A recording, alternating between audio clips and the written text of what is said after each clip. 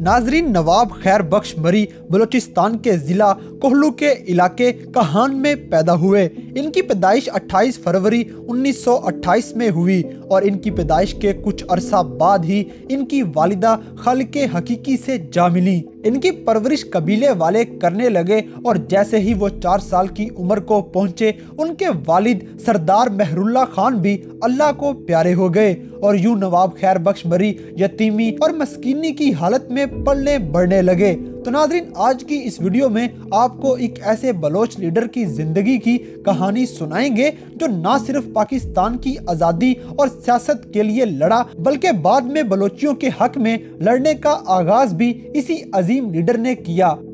تو ویڈیو دیکھنے سے پہلے ہمارے چینل کو سبسکرائب کریں اور بیل آئیکن پہ کلک کریں تاکہ ہماری لیٹسٹ ویڈیو سب سے پہلے آپ تک پہنچ سکے۔ تو آئیے چلتے ہیں اپنی آج کی اس ویڈیو کی طرف۔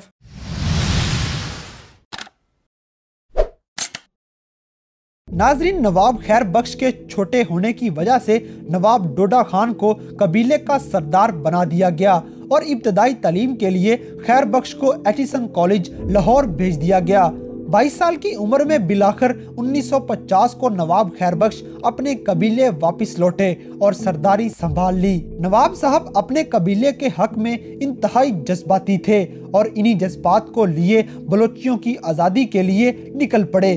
ایوب خان کے دور حکومت میں جب نواب مری کے ایریا میں تیل کے ذخائر دریافت ہوئے تو نواب صاحب حکومت کے سامنے دیوار بن کے کھڑے ہو گئے کہ یہ سارے ذخائر بلوچیوں کی ملکیت ہیں اور وہ انہیں کسی اور کے ہاتھ نہیں لگنے دے سکتے۔ انیس سو چھپن میں نواب صاحب نے سیاست میں قدم رکھا جب پاکستان میں مارشل لا لگا ہوا تھا۔ اسی مارشل لا کے دوران پاکستانی فوج آپریشن شروع کر چکی تھی اور تمام بلوچی قبیلوں کو حکم نامہ جاری کر دیا گیا کہ اپنے تمام ہتھیار حکومت پاکستان کو جمع کروا دیے جائیں۔ سب نے اپنے اپنے ہتھیار پیش کر دیے، مگر مری نے یہ حکم ماننے کی بجائے اپنے سارے ہتھیار ٹکڑے ٹکڑے کر دیے۔ ناظرین، نواب مری انیس سو چھپن انیس سو باسٹھ اور انیس سو ستر کے الیکشنز میں نیشنل اسمبلی کے رکن بنتے رہے۔ انیس سو باسٹھ میں جب شیرو مری نے اپنے ساتھیوں کے ساتھ پاکستان کے خلاف گریلا وار شروع کی تو نواب خیر بخش مری نے ان کو سپورٹ کیا۔ اور جب انیس سو تہتر میں ذوالفقار علی بھٹو نے بلوچستان کے حکومتی اقتدار میں تاخیر کی اور ملٹری آپریشن شروع کیے تو نواب مری نے فوج کے خلاف ہتھیار اٹھا لیے اور یوں بلوچستان کی آزادی کی تحریکیں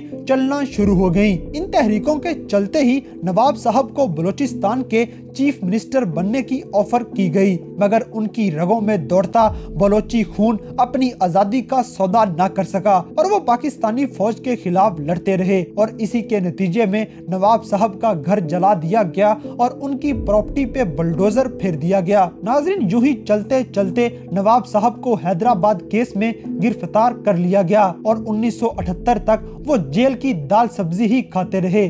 اور بالآخر جنرل ضیاء الحق کے دور میں ان کو رہائی دے دی گئی اور ان کو جلا وطن کر دیا گیا۔ چلتے چلتے وہ اور ان کے ساتھی افغانستان جا پہنچے۔ مگر ان کے جاتے ہی افغانستان کے طالبان نے بلوچیوں پہ حملے شروع کر دیے۔ نواب مری ملک واپس آ گئے اور بلوچوں کے لیے جد و جہد جاری رکھی۔ ان کی ہر سرگرمی پہ پاکستانی انٹیلیجنس ایجنسی کی نظر تھی اور ان کی نگرانی کی جا رہی تھی۔ چونکہ مری کے علاقے میں موجود تیل کے ذخائر نکالنے کے درمیان بس نواب صاحب ہی رکاوٹ تھے، اس لیے انہیں اور ان کے ایک سو پچاس ساتھیوں کو سن دو ہزار میں جسٹس نواز مری قتل کیس میں گرفتار کر لیا گیا۔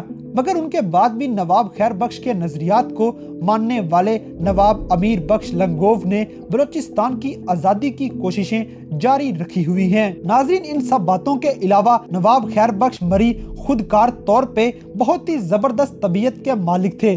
انہوں نے اپنی ساری زندگی بلوچیوں کی آزادی کے لیے وقف کر دی۔ ان کا روب اور دبدبا ان کی جوانی سے ہی ہر طرف پھیلتا چلا گیا۔ ان کی بات میں اس قدر اثر و رسوخ ہوتا تھا کہ ان کے الفاظ کو حرف آخر مان لیا جاتا تھا۔ وہ اپنے لوگوں کے لیے انتہائی ہمدرد اور انصاف پسند تھے، مگر حکومت کے ساتھ کچھ ناگوار تعلقات کی وجہ سے ان کو زندگی میں ہمیشہ مشکلات کا سامنا ہی ہوتا رہا۔